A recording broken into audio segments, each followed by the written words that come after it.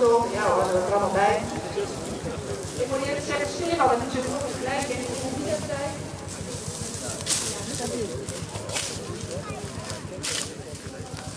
Nou, hartstikke mooi.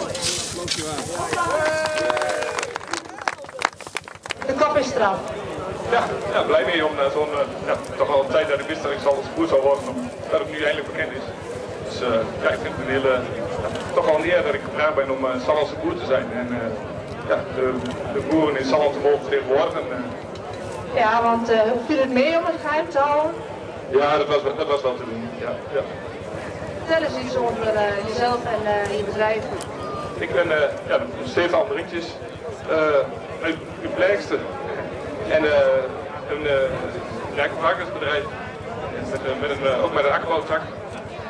Nou, dat doe ik samen met, met, met mijn ouders en met, met enkele medewerkers. En ja, dat loopt eigenlijk, eigenlijk goed. Dus, graag een applaus voor onze nieuwe Zalmse boer Stefan Rietjes.